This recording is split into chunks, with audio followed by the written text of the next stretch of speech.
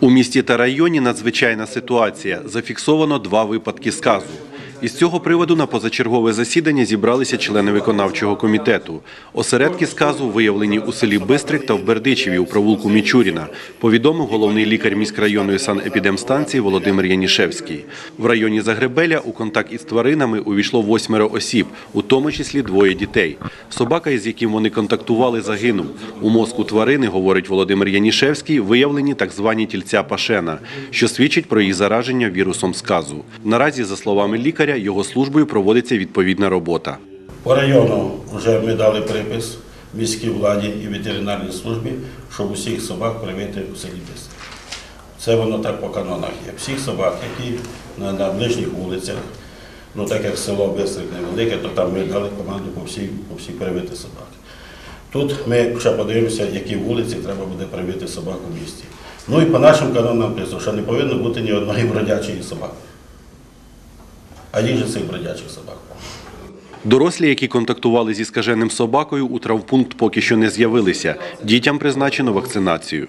Вона проходиться, проходить дума, е, проходить сама вакцинація і можуть вводити вірусний анатоксин. То і анатоксин і сиворотку. Це в залежності від того, яка локалізація, який возраст людини. Ну, там требуються дуже великі вимоги при вакцинації. По-перше, людина, якщо вакцинується, вона не повинна вживати спиртних напоїв, як це доросла людина. Вона не повинна переохолоджуватись і вона не повинна перегріватись. Настільки вакцина сама вимоглива до себе. Вона не повинна користуватися їжею дуже кислою, припустимо. Великі вимоги до самої вакцинації, до самого е, підозрюваного, якого вакцинують. Причина виникнення сказу у собак з'ясована. Їх покусали лисиці. Зі слів лікаря, вже дано відповідне розпорядження членам товариства мисливців, які мають зайнятися відстрілом диких тварин. На думку Володимира Янішевського, виходів із надзвичайної ситуації, що склалася, два: знищення безпритульних собак або ж розміщення їх у вольєрах. Сам сказ вилікувати неможливо, підкреслив фахівець. Протікання хвороби жахливе. Стовідсотковий її результат смерть. Як приклад, навів випадок із мешканкою Ружина, яку покусала скажена куниця. Ізолювали окрему палату лікарні, забили досками вікна, забили досками двері, зробили тільки окно, щоб кидати її в їжу. Вона об'їла всю, всю штукатурку до, е, до самого кирпича, погризла все. Батьки відказались, чоловік відказався, діти відказались, і вона на дев'ятий день померла. Ще лежала 11 днів, е, вирішували, хто, який смільчак може її звідти взяти то все-таки оділи противочумний костюм дезінфектора е, санепідстанції, і він все-таки її виніс звідти. Ну, звичайно, за винагороду якось, тому що я туди не рискнув.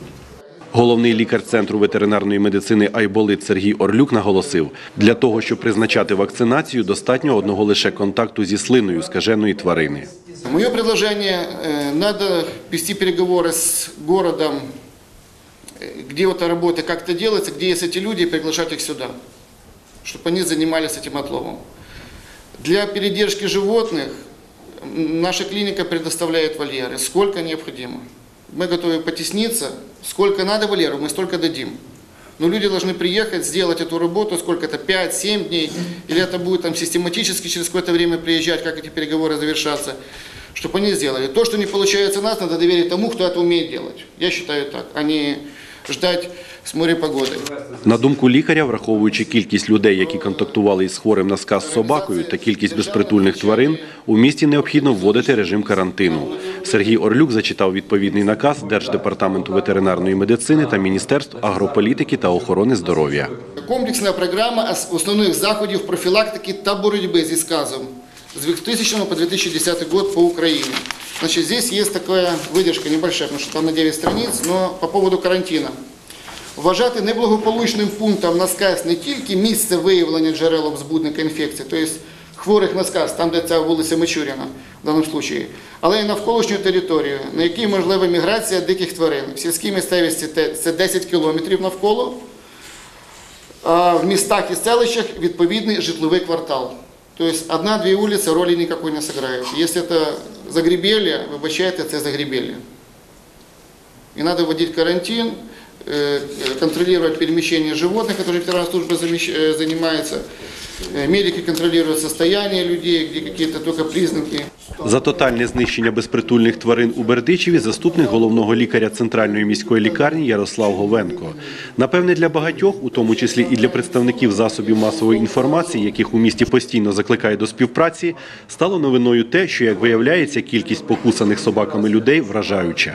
Ми маємо більше, майже під 300 чоловік укушених, які зверну, які тільки звернулися на травпункт. Із них одна людина шпиталізована в реанімацію, яка попала з великими обширними укусами і тіла, і обличчя, і так далі. Так?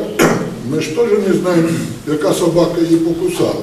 І якщо ми говоримо про те, що є от така небезпека, то тут повинна в першу чергу санстанція відпрацювати і бути, як кажуть, принциповою в даному випадку, повинні бути певні чинні видані на території укази, закони для місцевого користування. І відповідно до цього повинні служби, ті, які знищують собак, повинні знищити їх, тому що це ми самі собі, як кажуть, створюємо проблему. Місто має оперативно відреагувати на надзвичайну ситуацію, наголосив міський голова Василь Мазур. Зараження страшною хворобою не має набути системного характеру. Якщо сьогодні для того, щоб прийняти рішення, чи е, не не карантин, якесь інше формулювання, інший план заходів, то для, для того потрібно висновки ветеринарної медицини. Так? Я вважаю, що зараз запрошуємо його, якщо ні, то запрошувати сюди обласного керівника на території міста. І хай він приймає, хай він нам вносить рекомендації. Влада мусить виконувати ті рекомендації, яка вносить державна структура, яка занесе повну абсолютну відповідальність за, за ці всі речі. Тому, Володимир Вячеславович, зараз запрошуйте його. Якщо він, якщо він сьогодні запропонує режим тільки такий в районі Загребеля, значить будемо в районі Загребеля. Якщо по всьому місту, значить по всьому місту. І він чітко повинен прописати, що ми, які ми заходи повинні вживати, виходячи з того режиму, який сьогодні є. І приступити до виконання е, даних рекомендацій без дискусій. Цим повинні займатися спеціалісти, а не дилетанти. У якому режимі перебуватиме місто далі, визначатимуть члени комісії з надзвичайних ситуацій. Про рішення, яке вони приймуть, буде повідомлено додатково.